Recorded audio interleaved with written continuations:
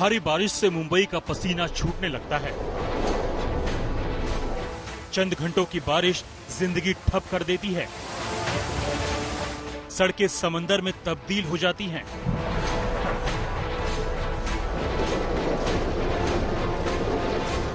सड़कों पर दौड़ने वाली कारें बेदम हो जाती हैं। ट्रेन की पटरियों पर नाव चलानी पड़ती है। ये हर साल होता है। आफत आती है, मुंबई रोती है, तड़पती है, लेकिन सूरत नहीं बदलती।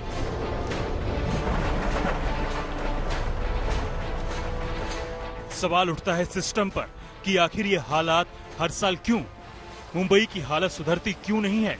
सरकार की योजनाओं का असर दिखता क्यों नहीं है? मुंबई की इस हालत के लिए आखिरकार जिम्मेदार कौन है? आपको बताएँगे एक एक सवाल का सच।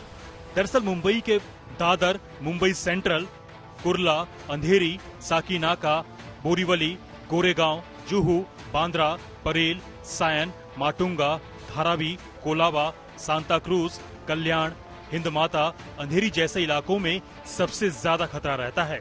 ये सभी निचले इलाके हैं, जहाँ आज तक भारी बारिश के संकट से निपटने के ठोस इंतज़ाम नहीं किए गए हैं। समंदर के किनारे बसे मुंबई पर हाई टाइड का भी खतरा है। समंदर का पानी मुंबई के निचले इलाकों में भर जाता है। ड्रेनेज सिस्टम सरेंडर बोल देता है। आखिर भारी बारिश हुई तो मुसीबत और बढ़ जाती है। कौन भूल सकता है 26 जुलाई 2005 को? बेहिसाब तबाही मची थी पूरी मुंबई में। एक हज़ार से ज़्यादा लोगों ने जान गंवाई थी। करीब 550 करोड़ रुपए की आर्थिक क्षति हुई थी। हज़ारों बसें, टैक्सी, ऑटो को नुकसान पहुँचा था। 24 घंटे के लिए मुंबई पूरी तरह से ठप हो गई थी। करीब 10 से ज़्यादा दिनों तक मुंबई लोकल बंद रही थी।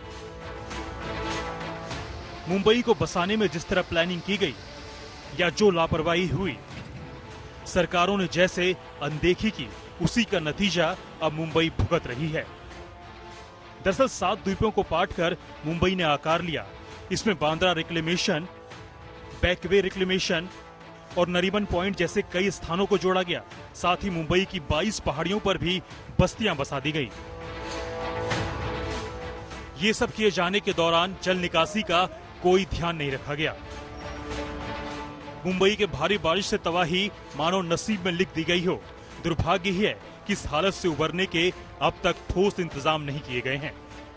मुंबई से पंकज उपाध्याय के साथ ब्यूरो रिपोर्ट, आज तक। नमस्कार, मैं हूँ अंजना ओम कश्यप हमें उम्मीद है ये वीडियो आपको पसंद आया होगा। लेटेस्ट खबरों के लिए यूँ ही देखते रहिए आज तक और इस वीडियो के पसंद आने पर लाइक शेयर एंड सब्सक्राइब करना ना भूलें।